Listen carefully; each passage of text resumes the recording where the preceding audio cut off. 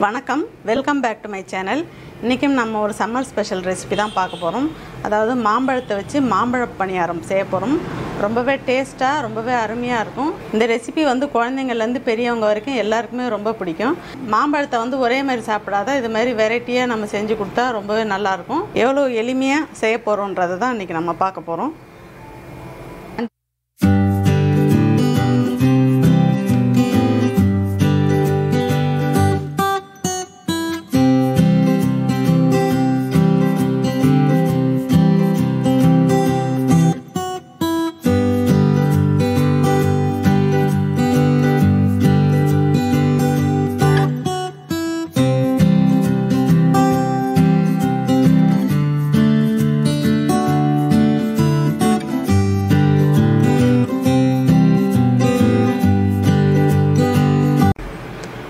இன்றைக்கி நம்ம மாம்பழ பணியாரம் எப்படி செய்யலான்றதை பார்க்கலாம்.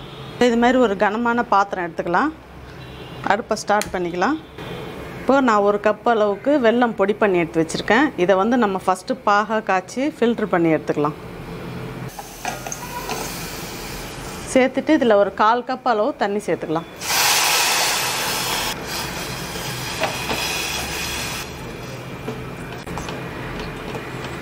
இந்த வெள்ளத்தை வந்து நல்லா கரைச்சிக்கணும் நல்லா கொதிக்கணும்.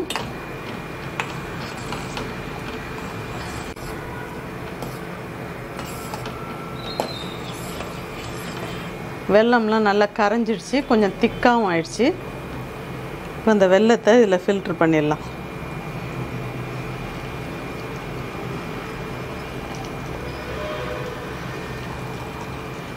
இப்போ வெல்லம் ஒரு கப்பு பாகு காய்ச்சி ஃபில்ட்ரு பண்ணி எடுத்துக்கிட்டோம். இப்போ இதில் ரெண்டு கப்பு அளவுக்கு இட்லி மாவு.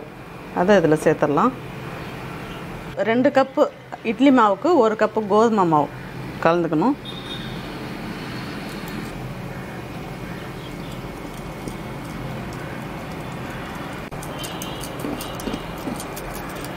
நல்லா இட்லி மாவையும் கோதுமை மாவையும் நல்லா கரைச்சிக்கலாம். இப்போ இதில் ஒரு ஸ்பூன் அளவுக்கு ஏலக்காய் பொடி பண்ணி வச்சுருக்கேன். அதை அதில் சேர்த்துடலாம். அப்புறம் கொஞ்சமாக சோடா உப்பு எடுத்திருக்கேன். அதையும் இதில் சேர்த்துக்கலாம். இப்போ கடைசியாக இது மாதிரி மாம்பழம் நல்லா இனிப்பான மாம்பழமாக செலக்ட் பண்ணிக்கணும். அதை இது மாதிரி மிக்சியில் நல்லா ஃபைன் பேஸ்ட்டாக அரைச்சி எடுத்துக்கணும். அதையும் ஒரு கப்பு எடுத்திருக்கேன். அதையும் இதில் சேர்த்துடலாம். இப்போ இந்த மாம்பழத்தையும் நல்லா கரைச்சிக்கலாம். நல்லா எல்லாமே ஈவனாக கலந்துக்கலாம்.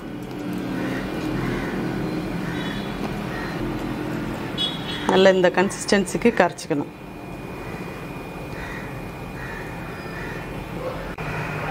ஓ இதில் ஒரு டீஸ்பூன் அளவுக்கு நெய் கலந்துக்கலாம். டேஸ்ட் ரொம்ப சூப்பராக இருக்கும். இப்போ அதையும் நல்லா கலந்துடலாம்.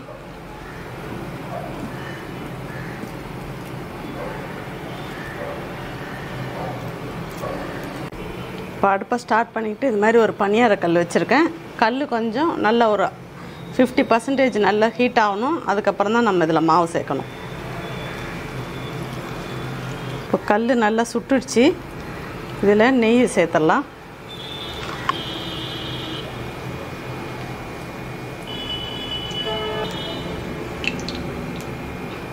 இப்போ நல்லா கல் காஞ்சிடுச்சு. நெய்யும் நல்லா ஹீட் ஆகிடுச்சு இப்போ இந்த ஸ்டேஜில் எல்லாத்துலேயும் மாவு சேர்த்துடலாம்.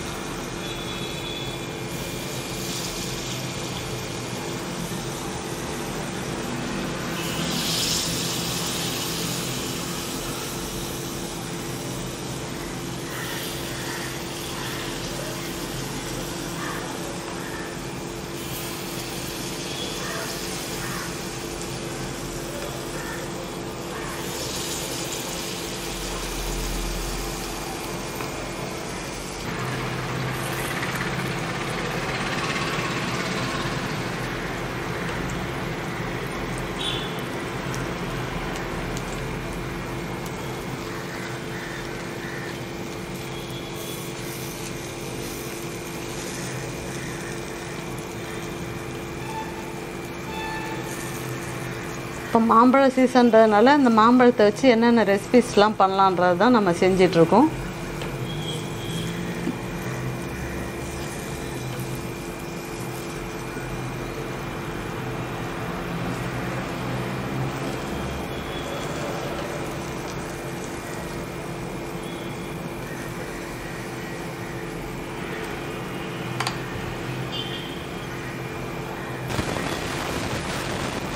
இப்போ இதே மாதிரி அடுத்த பேட்சையும் ஊற்றி காட்டுறோம் உங்களுக்கு.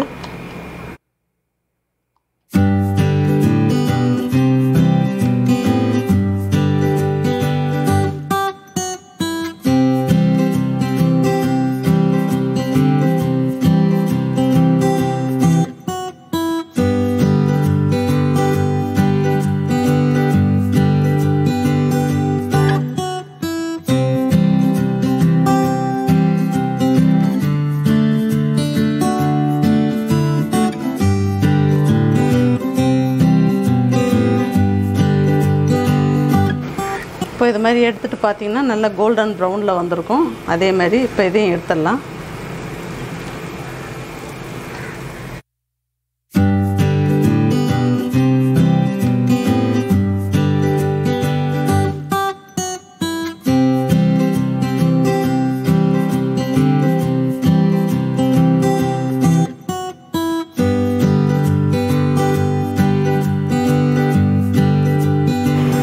நம்ம இட்லி மாவில் வந்து ஜவ்வரிசி அவல்லாம் சேர்த்து அரைச்சிருக்கறதுனால ரொம்பவே சாஃப்டாக இருக்கும்.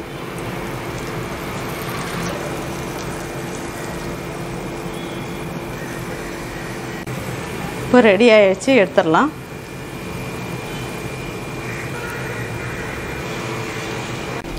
ரொம்பவே அருமையாக மாம்பழத்தை வச்சு பணியாரம் செஞ்சுருக்கோம். இப்போ சீசன்றதுனால மாம்பழத்தை இது மாதிரி டிஃப்ரெண்ட் வெரைட்டிஸில் நம்ம செஞ்சு கொடுத்தா குழந்தைங்களுக்கும் எல்லாருக்குமே பிடிக்கும். இதே மாதிரி நீங்களும் உங்கள் வீட்டில் ட்ரை பண்ணி பாருங்கள் ரொம்பவே அருமையாக வரும். உங்களுக்கு இந்த ரெசிபி பிடிச்சிருந்ததுன்னா லைக் பண்ணுங்கள் உங்கள் ஃப்ரெண்ட்ஸ் அண்ட் ரிலேட்டிவ்ஸ்க்கு ஷேர் பண்ணுங்கள் சேனலை ஃபஸ்ட் டைம் பார்க்குறவங்களா இருந்தால் சேனலை மறக்காமல் சப்ஸ்கிரைப் பண்ணுங்கள் தேங்க்யூ